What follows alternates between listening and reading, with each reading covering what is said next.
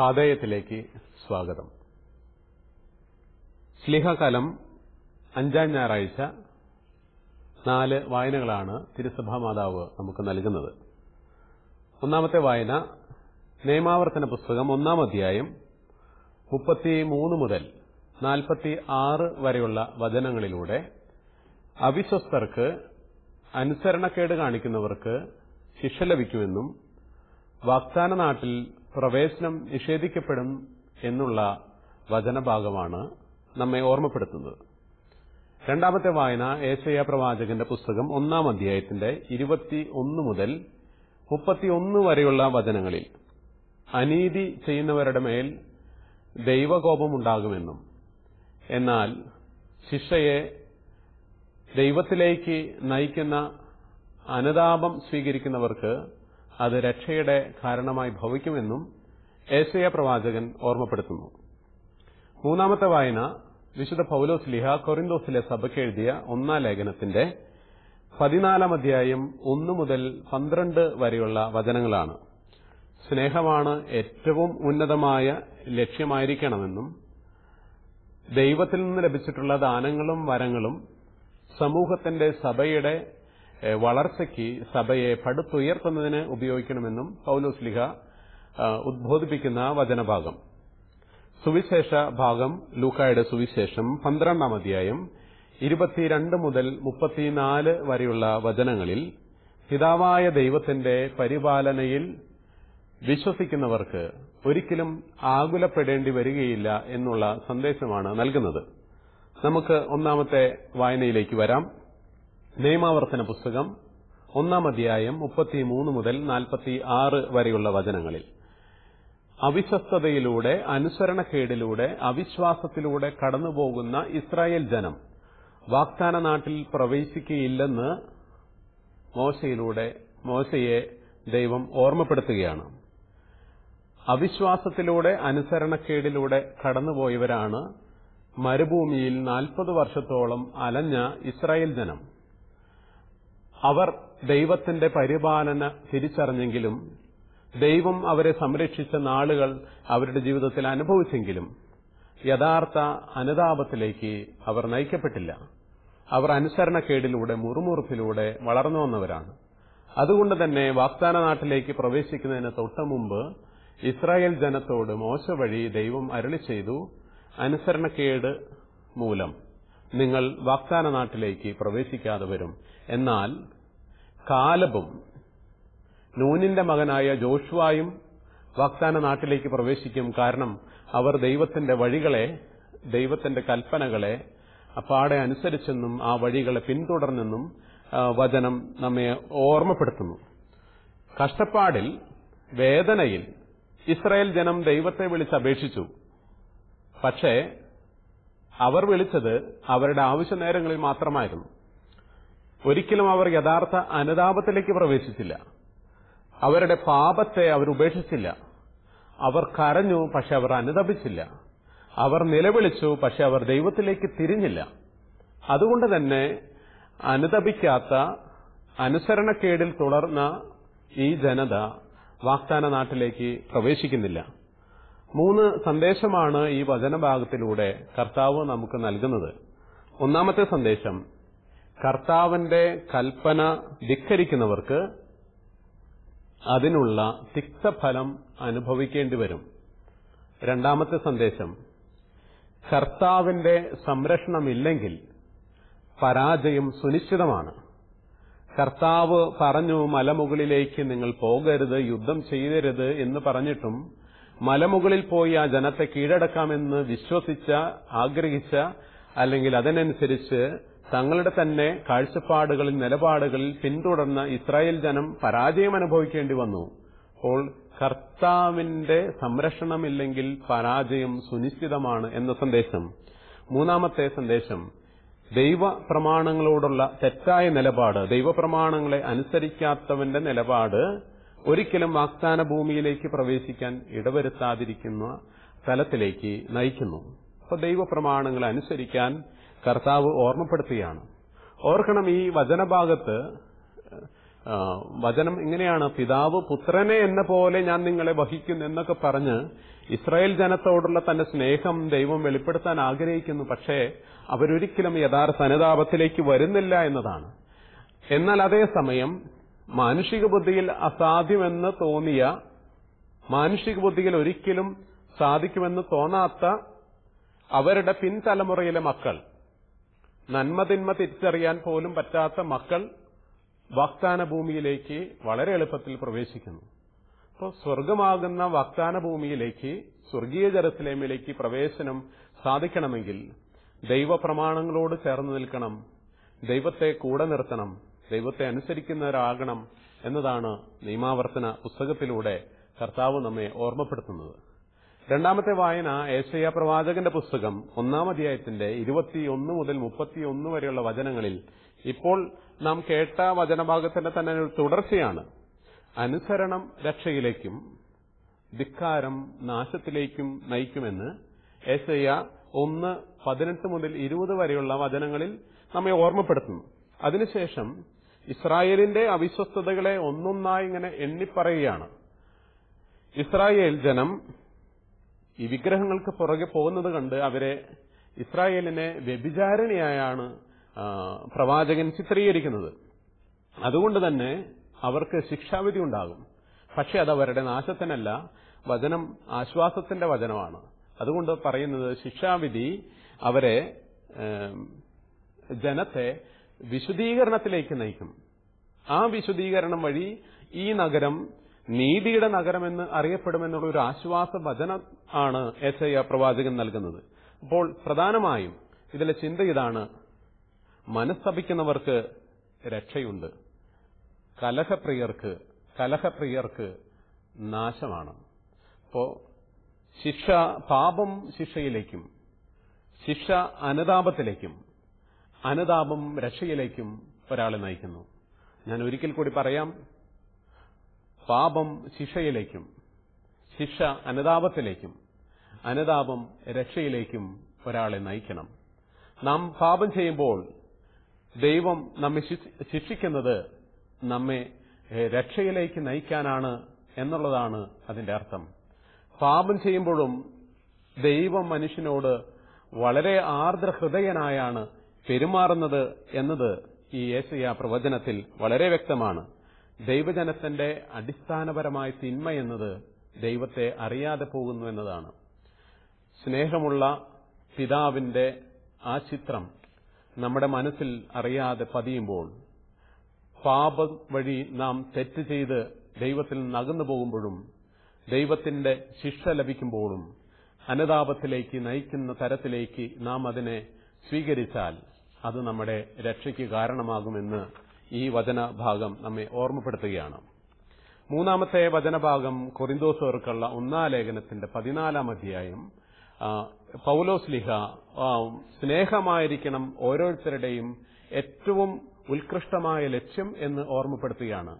ഒരുപക്ഷെ പ്രവചനപരമുണ്ടായിരിക്കാം ദർശനപരമുണ്ടായിരിക്കാം പലവിധ കൃപകൾ കൊണ്ട് അനുഗ്രഹങ്ങൾ കൊണ്ട് നിറഞ്ഞവരാകാം പക്ഷേ അതൊക്കെ ദൈവജനത്തിന്റെ സഭയെ പടുത്തുയർത്താൻ ഉപയോഗിക്കണം എന്ന് പറഞ്ഞ് അതിന്റെ അവസാനം പൗലോസ്ലിഹ ഒരിക്കൽ കൂടി ഓർമ്മപ്പെടുത്തുകയാണ് എല്ലാത്തിനെയും ഉത്കൃഷ്ടമായിട്ടുള്ള കാര്യം സ്നേഹത്തിലേക്ക് എത്തിച്ചേരുക സ്നേഹമായിരിക്കട്ടെ നിങ്ങളുടെ ഏറ്റവും ഉന്നതമായ ലക്ഷ്യം എന്ന് പറഞ്ഞുകൊണ്ട് പൗലോസ്ലിഹ സ്നേഹത്തിലേക്ക് ഓരോരുത്തരെയും സഭയെ മുഴുവൻ ജനത്തെ മുഴുവൻ പൗലോസ്ലിഹ വിളിക്കുകയാണ് പ്രചോദിപ്പിക്കുകയാണ്.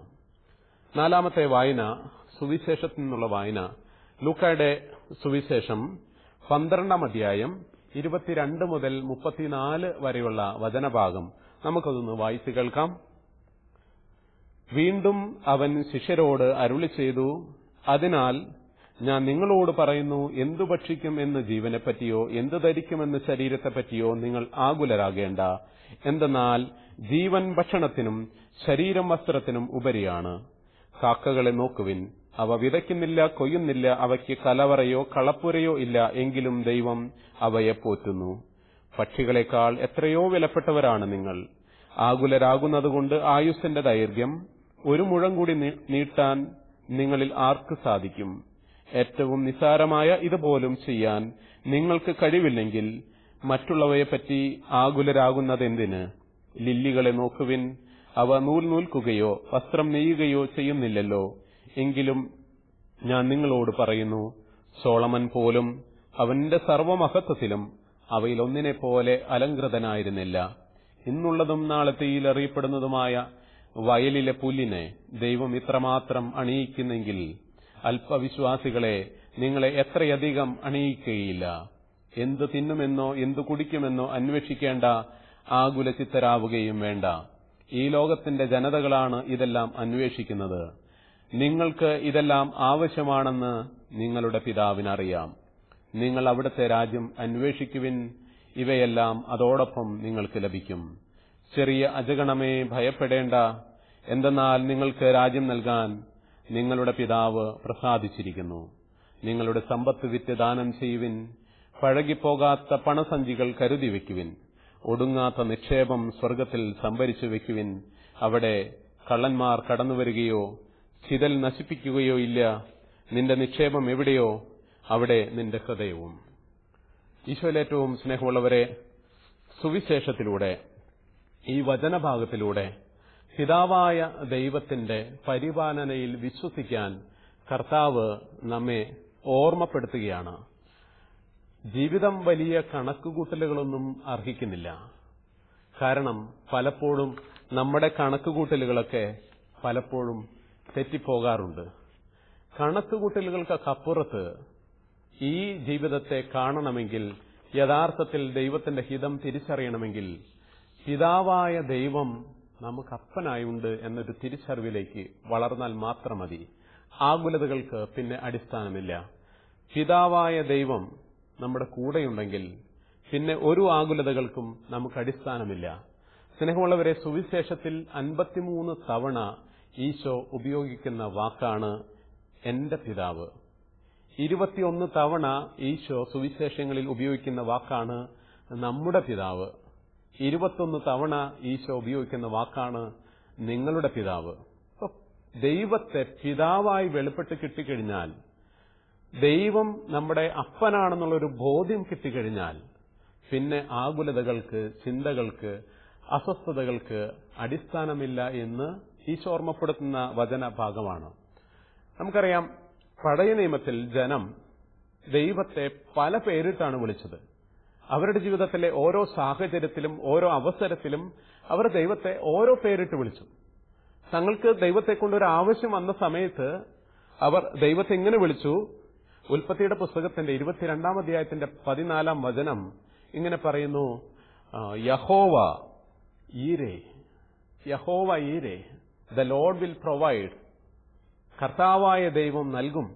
ആവശ്യം വന്നപ്പോൾ അവർ ദൈവത്തെ വിളിച്ചത് അങ്ങനെയാണ് യഹോവ ഈരെ ഉത്കണ്ഠകളേറിയപ്പോൾ ജീവിതത്തിൽ അസ്വസ്ഥതകൾ വന്നപ്പോൾ അവർ ദൈവത്തെ എങ്ങനെ വിളിച്ചു യഹോവ ഷാലോം ദൈവം സമാധാനമാണ്. ന്യായാധിപന്മാരുടെ പുസ്തകം ആറാം അധ്യായത്തിന്റെ ഇരുപത്തിനാലാമത്തെ വചനമാണത്. അവർ ദൈവത്തെ സമാധാനം എന്ന് വിളിച്ചു ഉത്കണ്ഠ എപ്പോൾ അവരെ പിടികൂടിയപ്പോൾ. അവർ ഏകരാണെന്ന് തോന്നിയപ്പോൾ ഒറ്റപ്പെട്ടു പോയപ്പോൾ ആകുലരായപ്പോൾ ഭയപ്പെട്ടു പോയപ്പോൾ അവർ ദൈവത്തെ ഇങ്ങനെ വിളിച്ചു യഹോവ ഷമ്മ. അതിനർത്ഥം ദ ലോഡ് ഈസ് ദയർ എസ് കെലിന്റെ പുസ്തകം നാൽപ്പത്തിയെട്ടാം അധ്യായത്തിന്റെ മുപ്പത്തിയഞ്ചാം വചനമാണത്. ദൈവം അവിടെയുണ്ട്. ദൈവം നിങ്ങളുടെ കൂടെയുണ്ട്. ഒറ്റപ്പെട്ടു പോകുന്നവന് ആശ്വാസമായി ദൈവത്തെ അവർ കൂടെ നിർത്തുകയാണ്. തങ്ങൾക്കൊരു നേതാവിനെ ഒരു ലീഡറിനെ ആവശ്യമുണ്ടെന്ന് അവർക്ക് തോന്നിയപ്പോൾ അവർ ദൈവത്തെ ഇങ്ങനെയാണ് വിളിച്ചത് യഹോവ റോഹി the lord is my shepherd. സങ്കീർത്തനം ഇരുപത്തിമൂന്നിന്റെ ഒന്നിൽ പറയുന്നു കർത്താവാണ് എന്റെ ഇടയൻ. അപ്പോ കർത്താവിനെ ദൈവത്തെ അവർ ഇടയൻ എന്ന് വിളിച്ചു യഹോവ റോഹി. ഇനിയും തങ്ങൾ രോഗിയായപ്പോൾ പാടുപീടകൾ സഹിച്ചപ്പോൾ സൗഖ്യം ആവശ്യമായി വന്നപ്പോൾ വേദന കൊണ്ട് സഹിക്കാൻ പറ്റാതായപ്പോൾ അവർ ദൈവത്തെ എങ്ങനെ വിളിച്ചു? യഹോവ Rafah the lord is a healer. ദൈവമാണ് സൗഖ്യം. പുറപ്പാടിന്റെ പുസ്തകം പതിനഞ്ചാം അധ്യായത്തിന്റെ ഇരുപത്തിയാറാം വചനം. ഞാൻ നിന്നെ സുഖപ്പെടുത്തുന്ന കർത്താവാണെന്ന് അവർ പറയാൻ തുടങ്ങിയത്. അതിനുശേഷമാണ്. അപ്പോ പഴയ നിയമത്തിലെ ജനത തങ്ങളുടെ ആവശ്യങ്ങളിൽ ഓരോ നേരത്തും ഓരോ സാഹചര്യത്തിലും ഓരോ കാലഘട്ടത്തിലും ഓരോ പേരിട്ടാണ് ദൈവത്തെ വിളിച്ചത്. പക്ഷെ പുതിയ നിയമത്തിലെത്തുമ്പോൾ ഈശോ ദൈവത്തെ വിളിക്കുന്നത് ഒരേ ഒരു വിശേഷണം കൊണ്ടാണ്. ലൂക്കായുടെ സുവിശേഷം പതിനൊന്നാം അധ്യായത്തിന്റെ ഒന്ന് തുടങ്ങി നാല് വരെയുള്ള വചനങ്ങളിൽ കർത്തൃപ്രാർത്ഥന എന്നറിയപ്പെടുന്ന ആ വചനഭാഗത്ത് ഈശോ അത് വെളിപ്പെടുത്തുന്നു ആദ്യമായിട്ട് വെളിപ്പെടുത്തുന്ന അവിടെയാണ്. അതിനുശേഷമാണ് പിന്നീട് അത് ആവർത്തിച്ച് പറയുന്നത്. പിതാവായ ദൈവത്തെ ഏത് പേരിട്ടാണ് ഈശോ വിളിക്കാൻ പോകുന്നെന്ന് കാതോർത്ത് കാത്തിരുന്ന ശിഷ്യന്മാരോട് ദൈവത്തെ അഭിസംബോധന ചെയ്തുകൊണ്ട് ഈശോ പറഞ്ഞു അബ്ബ യഹോവ അബ്ബ ദൈവം പിതാവാണ് ദൈവം അപ്പനാണ്. ഓ ഒരു അതൊരു വലിയൊരു വെളിപ്പെടുത്തലായിരുന്നു. സ്നേഹമുള്ളവരെ ദൈവം നമ്മുടെ അപ്പനാണെങ്കിൽ നാം ദൈവത്തിന്റെ മക്കളാണ്. നാം ദൈവത്തിന്റെ ദത്ത് പുത്രന്മാരാണ് നമുക്കറിയാം പിതാവായ ദൈവത്തിന്റെ ഏക മകനാണ് യേശു ക്രിസ്തു അങ്ങനെയെങ്കിൽ നാം ദത്ത് പുത്രന്മാരാണ് ദത്തുപുത്രന്മാർക്ക് രക്തബന്ധത്തിൽ പിറന്ന മക്കളെക്കാൾ കൂടുതൽ അവകാശമുണ്ട്. കാരണം യഹൂദരുടെ പാരമ്പര്യം അനുസരിച്ച് നിയമം അനുസരിച്ച് രക്തബന്ധത്തിൽ പിറന്ന മകനെ ഉപേക്ഷിക്കാൻ കഴിയുമായിരുന്നു. എന്നാൽ നിയമം മൂലം ഏറ്റെടുത്ത ഒരു ദത്തുപുത്രനെ മരണം വരെ ഉപേക്ഷിക്കാൻ അവർക്ക് നിയമം വഴി സാധിക്കില്ലായിരുന്നു. മാത്രമല്ല പുത്രന്റെ എല്ലാ അവകാശവും ദത്തുപുത്രന് നൽകപ്പെട്ടിരുന്നു. അപ്പൊ നമ്മളൊക്കെ ദത്തുപുത്രന്മാരാണെങ്കിൽ പിതാവായ ദൈവത്തിൽ പൂർണമായിട്ടുള്ള അവകാശം ഉള്ളവരാണ് നാം. സ്നേഹമുള്ളവരെ ഈ വചനഭാഗത്തിൽ വളരെ ശ്രദ്ധേയമായിട്ടുള്ളൊരു വചനമുണ്ട്. മുപ്പതാമത്തെ വചനം. നിങ്ങൾക്ക് ഇതെല്ലാം ആവശ്യമാണെന്ന് നിങ്ങളുടെ പിതാവിനറിയാം. നിങ്ങൾക്ക് ഇതെല്ലാം ആവശ്യമാണെന്ന് നിങ്ങളുടെ പിതാവിനറിയാം. നിങ്ങൾക്കിതെല്ലാം ആവശ്യമായിരുന്നെന്നോ നിങ്ങൾക്കിതെല്ലാം ആവശ്യമായിരിക്കുമെന്നോ എന്നല്ല വചനം പറയുന്നത് ആവശ്യമാണെന്ന്. The gospel is in the present tense read the gospel in the present tense live the gospel in the present tense സുവിശേഷം വർത്തമാനകാലത്തിലാണ് വ്യാഖ്യാനിക്കേണ്ടത്. ഇന്ന് ഇപ്പോൾ നിനക്ക് ഇത് ആവശ്യമാണെന്ന് ദൈവത്തിനറിയാം. പിതാവായ ദൈവത്തിനറിയാം. അപ്പോൾ ദൈവത്തിന് അറിയാം. ഒരുപക്ഷെ നിനക്കെന്താണ് ആവശ്യമുള്ളതെന്ന് നിന്റെ മാതാപിതാക്കൾക്കറിയില്ല. നിനക്കെന്താണ് ആവശ്യമുള്ളതെന്ന് നിന്റെ ജീവിത പങ്കാളിക്കറിയില്ല. നിനക്കെന്താണ് ആവശ്യമുള്ളതെന്ന് നിന്റെ മക്കൾക്കറിയില്ല. നിനക്കെന്താണ് ആവശ്യമുള്ളതെന്ന് നിന്റെ സഹപാഠികൾക്കറിയില്ല. നിന്റെ ഗുരുബോധർക്കറിയില്ല. അധ്യാപകർക്കറിയില്ല. പക്ഷേ പിതാവായി ദൈവത്തിനറിയാം. നിനക്ക് എന്താണ് ആവശ്യമുള്ളതെന്ന് അറിയുന്ന ഒരാൾ ഒരേ ഒരാൾ പൂർണമായിട്ട് അറിയുന്ന ഒരേ ഒരാൾ അത് പിതാവായ ദൈവമാണ്. രണ്ടാമത്തെ ചിന്ത പിതാവായ ദൈവത്തിന് നിനക്കാവശ്യമുള്ളത് തരാൻ കഴിവുള്ളവനാണ് എന്നുള്ള ബോധ്യം ഉണ്ടാകണം. നിനക്കാവശ്യമുള്ളത് നിറവേറ്റിത്തരാൻ കഴിവുള്ളവനാണ് ദൈവം എന്നുള്ള തിരിച്ചറിവുണ്ടെങ്കിൽ സ്നേഹമുള്ളവരെ ഓർക്കുക ഒരു വാക്കുകൊണ്ട് ഈ പ്രപഞ്ചത്തെ സൃഷ്ടിച്ചവന് പ്രപഞ്ചത്തിലെ വസ്തുക്കളെ സൃഷ്ടിച്ചവന്. ഈ പ്രപഞ്ചത്തിലെ അവന്റെ പ്രിയപ്പെട്ട മക്കളായ നിങ്ങളുടെ ഒരു കാര്യം നടത്തിക്കൊടുക്കാൻ കഴിയില്ലെന്ന് നിങ്ങൾ ചിന്തിക്കുന്നുണ്ടെങ്കിൽ അതാണ് മടയത്തരം അതാണ് ഏറ്റവും അവിശ്വസനീയമായിട്ടുള്ള കാര്യം. നിങ്ങളുടെ പിതാവിന് ഈ പ്രപഞ്ചത്തെ സൃഷ്ടിച്ച എല്ലാത്തിന്റെയും ഉടയവനായ പിതാവിന് കഴിയുമെന്നുള്ള വിശ്വാസത്തിലേക്ക് വളരുക എന്നതാണ്. ഓർക്കണം നോഹയെ അവന്റെ കുടുംബത്തെ വെള്ളപ്പൊക്കത്തിൽ നിന്ന് സംരക്ഷിച്ചവന്. ചെങ്കടൽ പകുത്ത് ഇസ്രായേൽ ജനത്തെ ഈജിപ്തിൽ നിന്ന് രക്ഷിച്ചവന്. ഏലിയായ്ക്ക് കാക്കയെ അയച്ച് അപ്പമെത്തിച്ചു കൊടുത്തവന്. ബാബിലോണിലെ തീച്ചൂളയിൽ മൂന്ന് ചെറുപ്പക്കാർക്ക് സംരക്ഷണം നൽകിയവന്. സിംഹക്കുഴിയിൽ ദാനിയേലിന് പരിപാലനം നൽകിയവന്.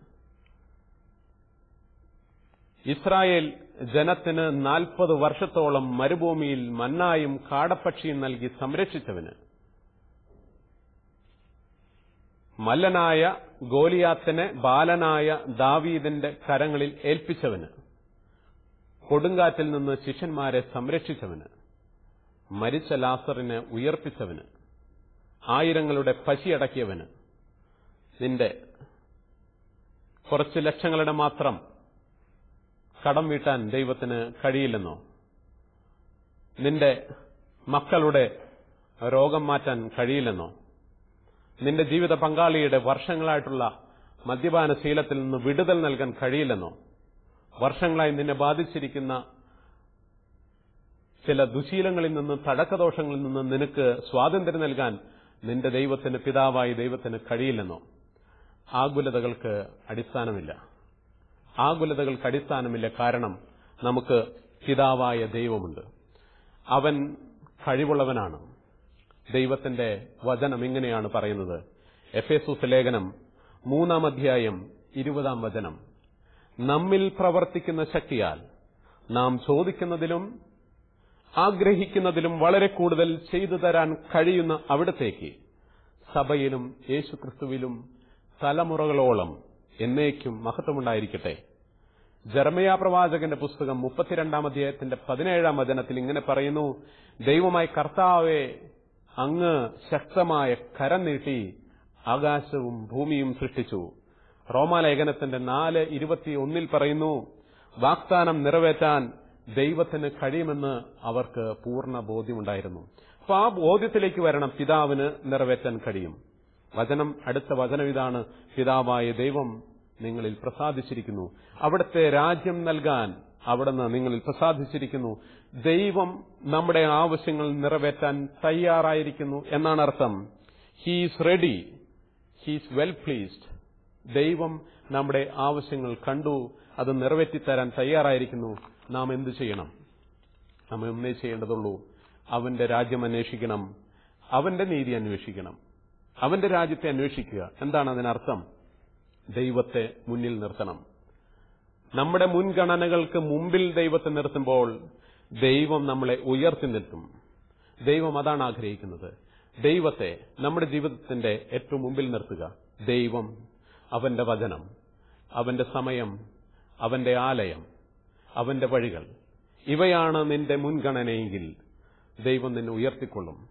ഇപ്പോഴനുഭവിക്കുന്ന അസ്വസ്ഥതകളെക്കുറിച്ച് ആകുലതകളെക്കുറിച്ച് നീ ഇനി വിഷമിക്കേണ്ട കാര്യമില്ല. കാരണം പിതാവായ ദൈവം നിന്നിൽ നിന്റെ കുടുംബത്തിൽ പ്രസാദിച്ചിരിക്കുന്നു. ദൈവത്തിന്റെ പരിപാലനയെ തിരിച്ചറിയാൻ വചനം നമ്മെ സഹായിക്കട്ടെ. നമുക്ക് പ്രാർത്ഥിക്കാം. കർത്താവായ ഈശോയെ കരയാൻ ആകുലപ്പെടാൻ അസ്വസ്ഥപ്പെടാൻ ആയിരം കാരണങ്ങൾ ഞങ്ങൾക്കുണ്ട്.